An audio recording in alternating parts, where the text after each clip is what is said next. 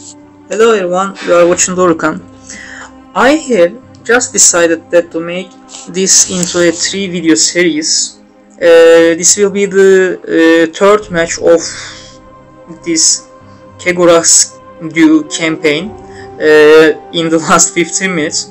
And in fact, you know, uh, while playing the three consecutive matches, uh, I couldn't uh, select a better one among the first two. So, in fact, if this one also uh, be a more challenging win at the end, I would love to uh, be this video as the conclusion of the three-part series.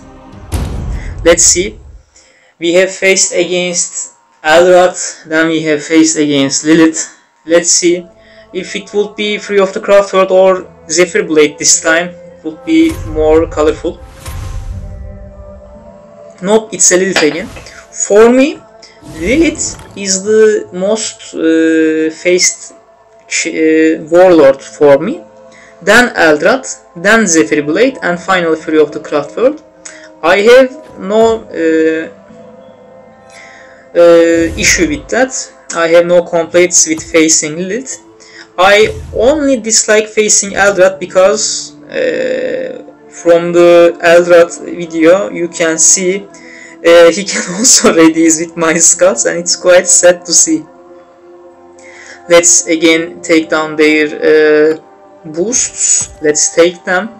We are only, uh, yeah, interested with their melee attack. Let's go put the Sanguinary Guard on the right. Let's make it 3 attacks on the there. 23, 42, uh, 84 on the right. But I don't think the yeah first two won't be able to take him down. Yeah, regardless with the oh we have the town We, I I mix it with the target acquired. Okay. Uh, yeah, it's psychic. That should take us down. Yeah, 28. So close yet so far. Sanguinary Guard falls. It's alright. It goes back. It only has psychic link. Nothing will change. Uh, we should kill the uh, Hellion on the left.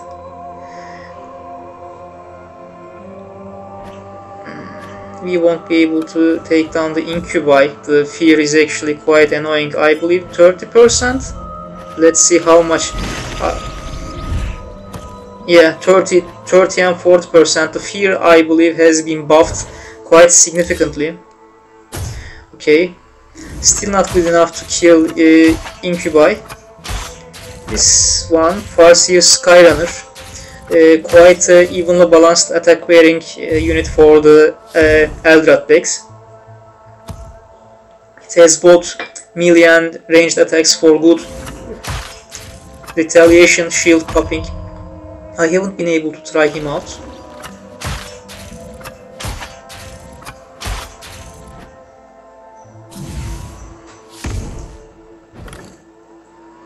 Let's see, not much will change. 19, I think I will take...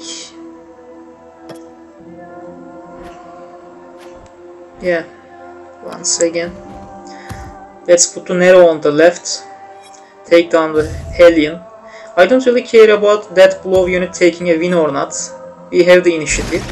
In fact, that Nero, I think he will take two of them down. Yeah. Nicely. Nicely done. Uh, thing will happen, however. Uh, Midael will fall as the death blow uh, hits. And it's a double kill. Oh, that's so sad. Yeah. I should have put the Nero on the middle, so uh, yeah, middle could live another day. Okay, let's see. Let's put the target acquired unit just in case. I am expecting a poison unit here and there. Oh, it's too big. It's way too hard to kill. Yeah, regardless, let's go.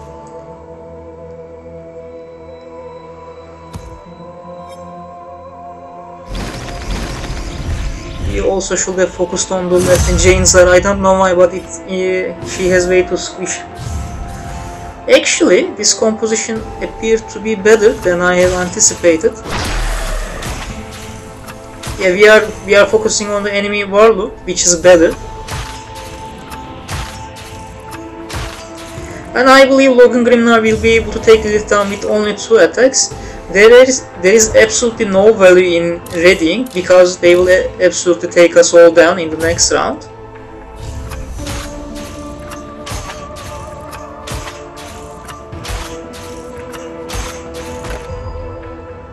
Logan I think will hit around 40 the 40% two thirds of the uh, melee attack type Logan should have yeah 60 attack as a legendary his trait is on the tier 2 as you can see.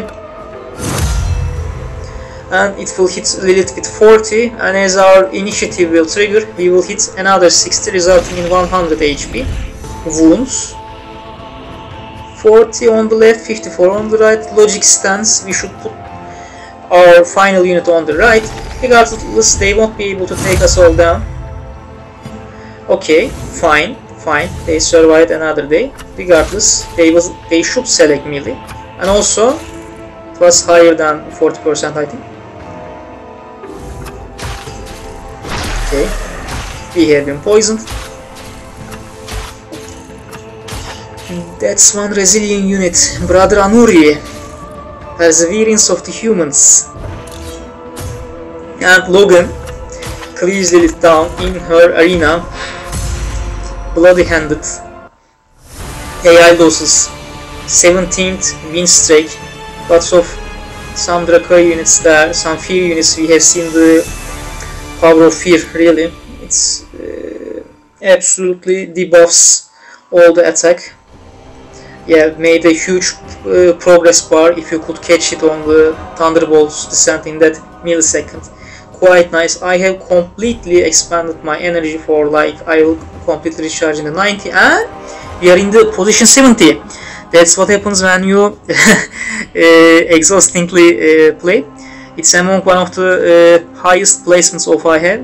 I don't think this will ever uh, stand. It's a long campaign. My uh, power will top. I will meet with my uh, personal wall, my deck's wall quite soon. As you have seen, uh, I have started deploying uh, my warlord and I believe at the first or second in the following matches I will receive a counter attack to my warlord and those in between I believe in the 20, the 22nd and 23rd I think with this take I might have a loss. Just in case I will try my luck for the 20th uh, match. Uh, as you can see it was relatively uh, easy for now. Uh, bodyguards are under level so that's quite sad uh, I managed to collect a lot of points. Only 1700 uh, left. Uh, I might transition into a less fast deck. Regardless this deck has served me quite well. 2350 points in just you can see here 23rd hour of the campaign. Uh, I call this value. I call this value 9 keyword cards is the most uh, uh, that could be possible and with Logan it's somewhere around viability. Uh, the deck functions as you can see up to the uh, which match? Yeah uh, we are in the 17th match. We have a 17 uh, win streak. Thank you for watching me. Have a nice day and take care of yourselves